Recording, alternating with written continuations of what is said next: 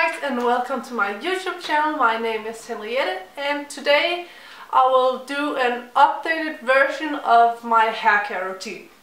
First of all I dyed my hair blonde-ish um, and therefore I use silver shampoo and conditioner and the brand that I use is the Organic Hair Spa. Look like this. The reason I use these uh, purple shampoo and conditioner is to get yellow stain out of my hair so that I can get a grey cold uh, blonde look. Normally I only wash my hair twice a week and the one time I use the purple shampoo and the second time I use some uh, cheap drugstore uh, shampoo and this is for, from Pureology.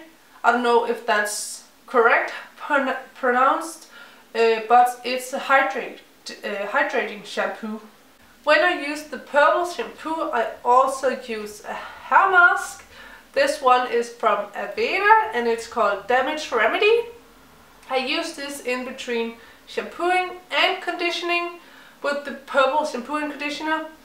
Uh, it's supposed to sit in for 2 to 5 minutes Sometimes I leave it in for two hours because I feel like it's good for my hair and I feel it helps me but it's not supposed to um, but I think it's worth it.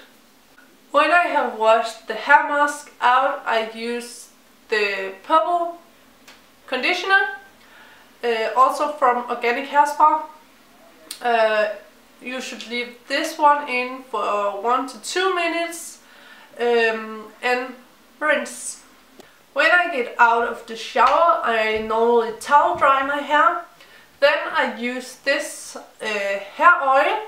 It's also from Organic Hair Spa and it's called Ar Argan Elixir um, and it's a transparent uh, hair oil because when it's yellow it can stain in your blonde hair and we don't want that.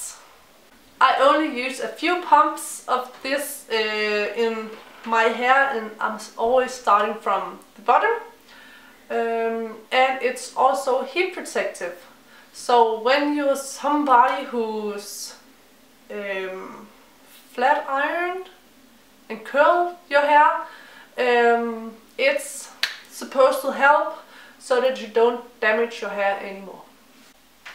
For the times I do not use the purple shampoo and conditioner, I also use a hair mask. And it's again from Pureology uh, and it's also a hydrating uh, hair mask. Uh, and I use this because it's a bit hot in Denmark right now but I will do a video on something uh, more specific about this hair care thing in the summer and hot areas. So yeah, stay tuned for that. So, thanks for watching. Don't forget to like this video and subscribe to my YouTube channel. And I will see you next time. Bye!